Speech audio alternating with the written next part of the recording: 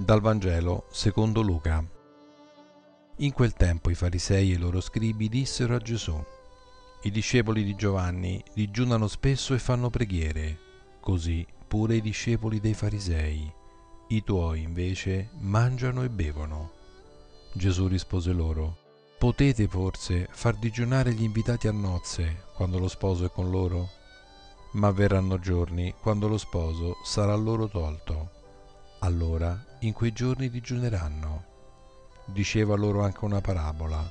Nessuno strappa un pezzo da un vestito nuovo per metterlo su un vestito vecchio, altrimenti il nuovo lo strappa e al vecchio non si adatta il pezzo preso dal nuovo.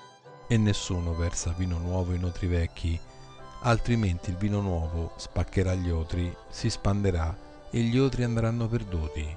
Il vino nuovo bisogna versarlo in otri nuovi Nessuno poi che beve il vino vecchio desidera il nuovo, perché dice il vecchio è gradevole.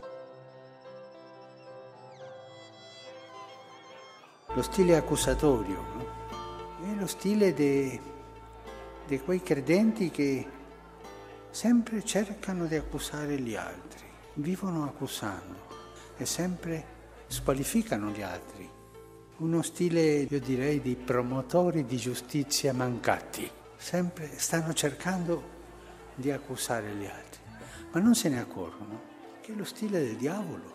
Nella Bibbia il diavolo lo si chiama il grande accusatore, che sempre sta accusando gli altri.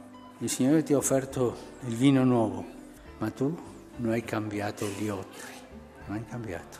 La mondanità che è quello che rovina tanta gente gente buona, ma entra in questo spirito della vanità, della superbia, di farsi vedere.